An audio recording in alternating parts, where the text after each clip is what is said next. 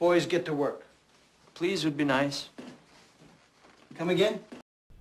I don't get along with my little brother. Sometimes that gets physical. Every time I open my eyes, there's a guy here with a camera. Don't you have a home?